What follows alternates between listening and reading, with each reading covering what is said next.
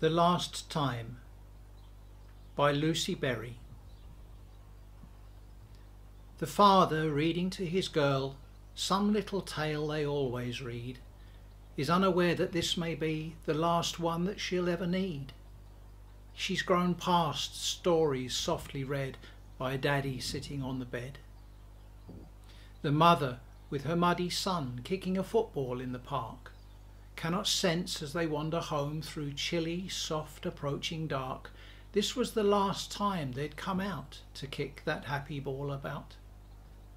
How secret, sneaky soft they come, those last times when we'll kiss it better, hold their hand across the road or lift them up to post a letter. They pass unmarked, unnoticed, for we're not so needed anymore.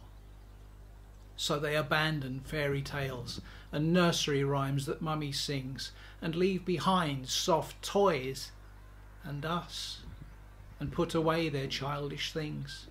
A loss so small, our loss the greater, unmissed, unmourned, until years later.